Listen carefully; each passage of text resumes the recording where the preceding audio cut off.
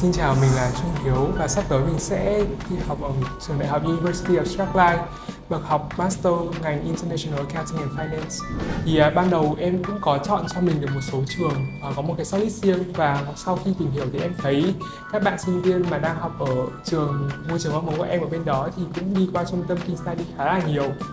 chính vì vậy đấy là lý do mà em chọn King Study thay vì các trung tâm khác. À, thực ra thì cũng có khá là nhiều lý do. À, và một trong số đó thì em thấy cái chương trình học của UK so với các nước khác thì khá là ngắn nó sẽ chỉ diễn ra trong một năm. Và sau đấy thì sẽ có hai năm để ở lại để tìm việc. Bên cạnh đấy thì em thấy với ngành học của mình là về accounting and finance thì ở so với các quốc gia khác thì em thấy ở anh sẽ cho em có nhiều cơ hội tốt hơn. Đặc biệt là có nhiều môi trường với các cái môn học nó sẽ khá là phù hợp với lại mong muốn của em à, vì do học ở Strathclyde thì đầu tiên là trường Strathclyde cho em offer sớm hơn so với Liverpool. Liverpool thì cho học ở khá là muộn thế nên là em vẫn quyết định là chọn Strathclyde như ban đầu.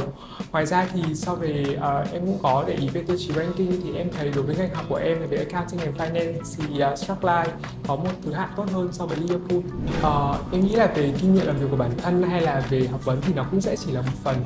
Uh, quan trọng là cái cách mà mình thể hiện ra như thế nào để người ta thực sự biết đến mình thì nó sẽ là một yếu tố quan trọng hơn và em cũng không có cái tips gì quá là lớn, bởi vì khi mà ban đầu em à, có tư vấn với các anh chị ở King Study thì em cũng chỉ đưa các cái thông tin của em, chủ yếu là các thông tin về bản thân. Và sau đó thì dưới sự hướng dẫn của anh chị thì em đã biết sắp xếp các cái thông tin một cách cụ thể và rõ ràng. Và em nghĩ đấy là một cái yếu tố rất là quan trọng để mình có thể ghi điểm được trong bài luận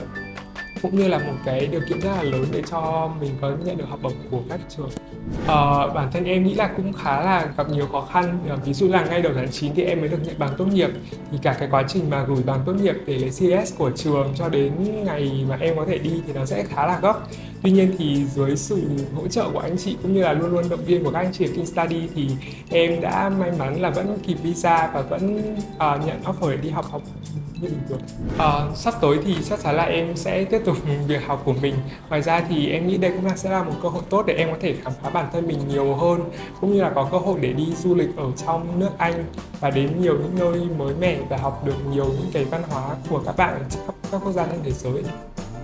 À, thì chắc là sau quá trình thì em nghĩ là em vẫn chấm study là 10 trên 10 à, ờ, bởi vì là các anh chị thực sự là rất rất là tận tâm và chuyên nghiệp. À, em nhớ là trong cái khoảng thời gian mà em làm visa thì có những cái hôm mà cuối tuần em vẫn phải nhờ đến các anh chị và các anh chị vẫn sẵn sàng để giúp đỡ em để có cái visa sớm nhất. Hay là trong cái quá trình mà em apply học bổng thì bởi vì là em vừa đi làm cũng như là cũng là cái thời điểm mà em đang chuẩn bị khóa luận ở trên trường, thế nên là thời gian nó cũng khá là vội và cũng có là nhiều deadline. Tuy nhiên thì anh Minh cũng luôn push em và nhắc em những cái deadline đó và để em có thể sửa, cũng như là nộp rất là đúng deadline và để có được cái offer học bổng sớm nhất